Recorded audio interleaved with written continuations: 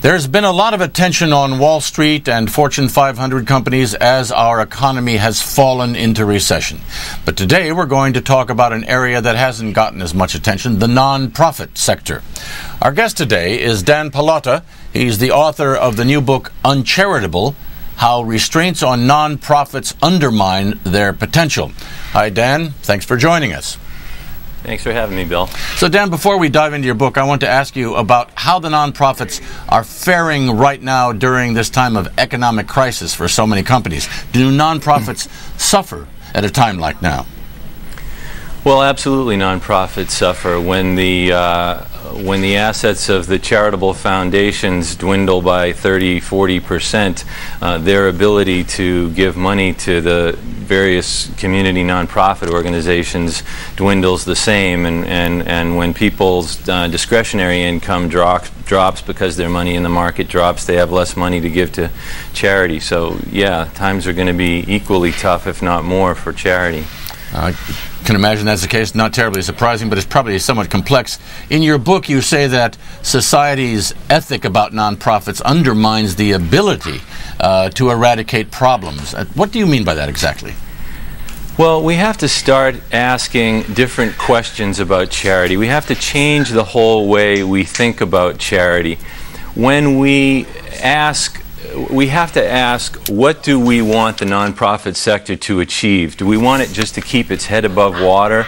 Do we want it to take forever to find a cure for breast cancer?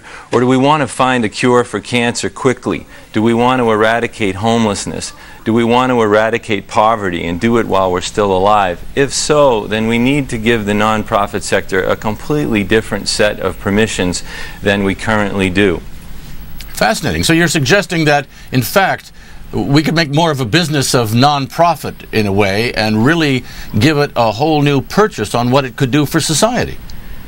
Absolutely. The nonprofit sector has enormous potential. Our compassion has enormous potential, but it's bound up by this Puritan ethic right now. Look at it this way we have two rule books one for charities and one for the rest of the economic world. So we don't want people to make a lot of money in charity, but you can make as much money as you want to in the for profit sector.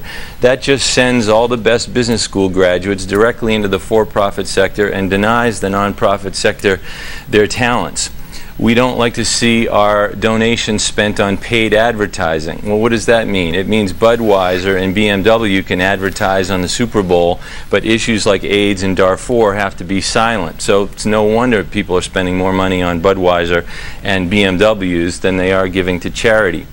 We don't want to see. You, yeah. Well, I'm saying it's fascinating. You're using that word Puritan. It's sort of like you're suggesting there's a kind of a split mind here that when society is thinking about being in the mood to give, it gets into a Puritan mode that says, and you don't want to make any money doing that, or have the people who do it make money. And when it's thinking about people uh, making a lot of money in a free market, they are in a different ethical headspace, in effect. Yeah, absolutely. I mean, there are so many contradictions. Think about it. You know, you want to make a million dollars selling violent video games to kids, we say go for it. But you want to make a million dollars finding a cure for cancer, we call you a parasite. You know, the Puritans were capitalists and they came to this country wanting to make a lot of money. But they were also Calvinists and they were taught to hate themselves. So charity became this artificial construct where they said, okay, here we'll make all our money, and on this side of the line called charity, that's where we'll deprive ourselves and deny ourselves. That's where we'll do our penance for making money. Well, charity is still stuck with that system. So the, the carpenters and the entrepreneurs of the world got free market capitalism, and the needy got this religion that says you can't pay people very well, you can't advertise, you can't take any chances, you can't think long term because we want all our money spent right now, and you can't earn a profit. So there can't be any stock market for charity. So all of the capital goes into the for profit sector through the stock market.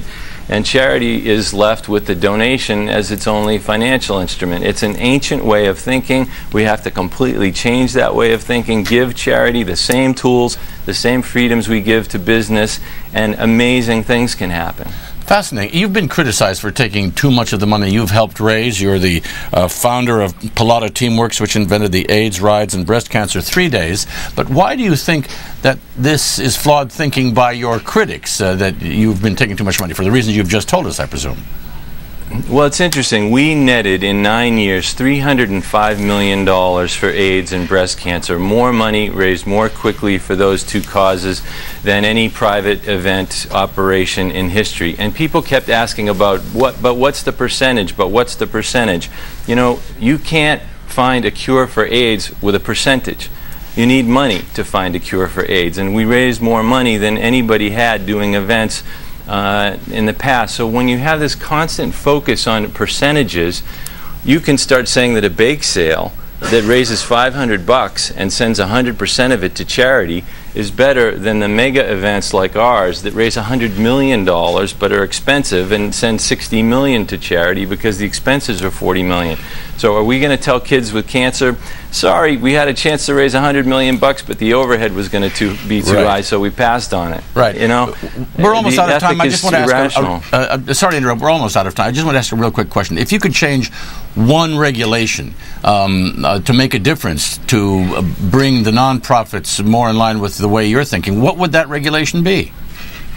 Um, it would be to create a stock market for charity where we could invest our money as easily in Save the Children and Oxfam America as we can in Toyota and Apple. And off of that money we invest, they could grow, they could pay us a financial return.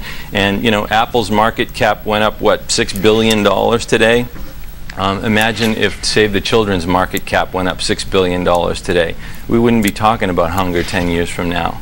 Interesting.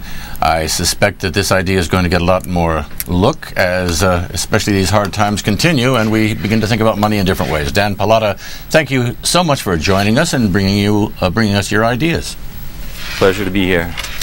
And you can pick up your copy of Uncharitable How Restraints on Nonprofits Undermine Their Potential at bookstores everywhere and online at uncharitable.net.